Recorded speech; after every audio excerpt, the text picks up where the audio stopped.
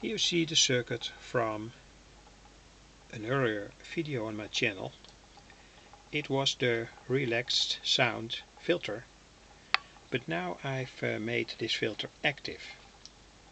I added a small uh, transistor audio amplifier one stage with this potentiometer you can set the amplification from the filter and uh, the whole circuit is uh, more or less identical to the earlier video but I have used here as coupling capacitors um, a somewhat higher value 470 nanofarad instead of 230 nanofarad.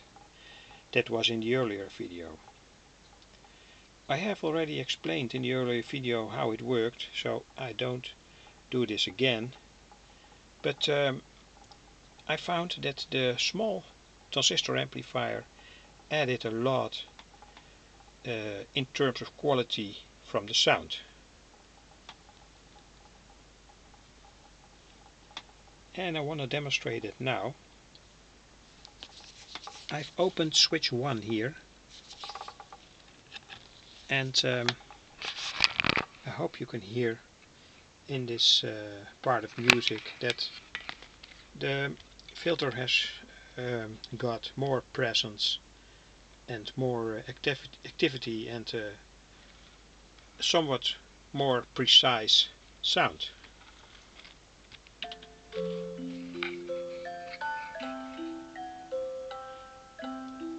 So this is the sound at the output of the filter. The active filter.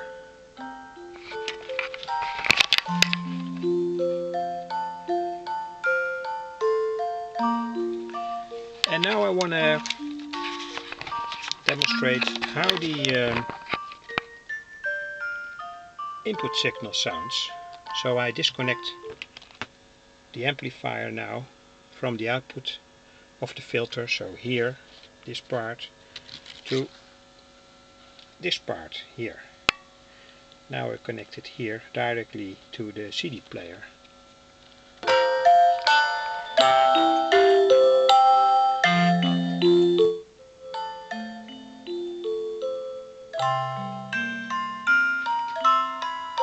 Again at the output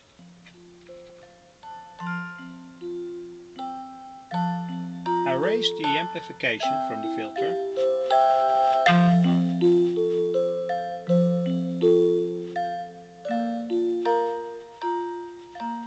Now I lower the amplification.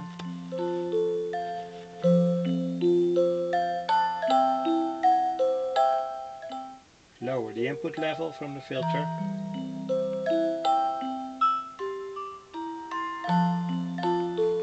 And um, when you do this with real music, uh, you'll be surprised about the sound.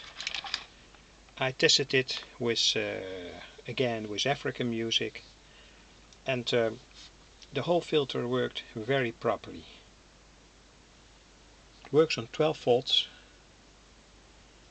and the sound is very clear and very precise. And also the um, the effect from this switch is substantial.